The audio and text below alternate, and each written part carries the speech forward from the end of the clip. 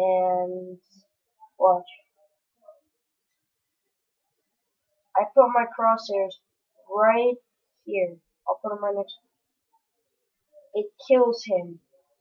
If you look at the top screen, I put my crosshairs right below his foot and it kills him. So yeah, thanks for watching. I'll be posting up more videos soon. Check out my channel and subscribe. See ya.